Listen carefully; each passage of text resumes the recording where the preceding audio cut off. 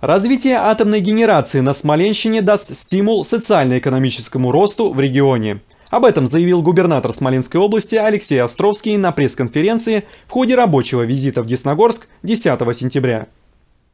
По мнению Алексея Владимировича, сооружение новых генерирующих мощностей Смоленской АЭС-2 позволит укрепить экономические позиции региона, продолжить успешно развивать сотрудничество с Росатомом, что, несомненно, самым положительным образом скажется и на социальной сфере Атомграда и всей Смоленщины. Я очень благодарен президенту страны за то, что он поддержал инициативу администрации области, инициативу Росатома о необходимости строительства второго энергоблока Смоленской атомной станции. Безусловно, строительство блока будет иметь э, синергетический эффект.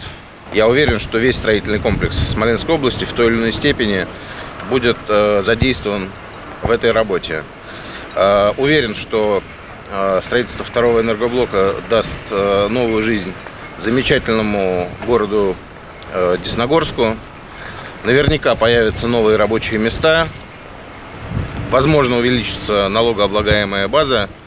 Проект сооружения Смоленской АЭС-2 с реакторами ВВР ТОИ включен в генеральную схему размещения объектов электроэнергетики до 2035 года, утвержденную правительством Российской Федерации. Уже в этом году он войдет в инвестиционную программу Росатома.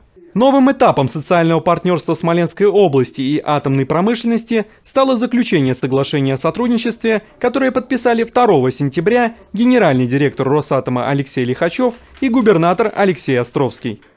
А, Росатом – социально ориентированный партнер администрации области.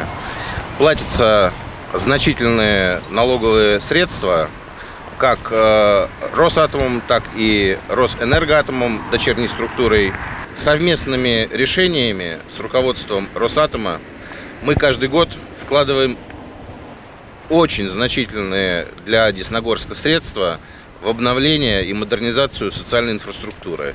В детские садики, в школы, в поликлинику. И я уверен, что это сотрудничество идет на благо э, десногорцев. И благодарю Росатом за то, что такие э, значительные средства в виде налоговых отчислений ежегодно вкладываются в э, этот город.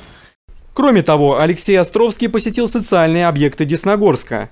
Мемориальный комплекс «Курган Славы», масштабная реконструкция которого ведется при поддержке Росатома, а также «Атом-класс» в общеобразовательной школе номер 3, созданной в рамках проекта «Школа Росатома». Также губернатор проинспектировал выполнение ранее данных им поручений по ремонту дорог в Десногорске.